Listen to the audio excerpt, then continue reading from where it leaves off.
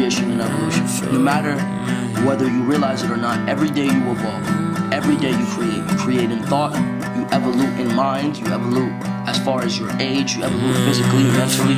If you are evoluting physically and you are not evoluting mentally, you are not doing the right thing. So, for you guys, I guys, I want you guys to constantly, constantly, constantly be trying to evolve.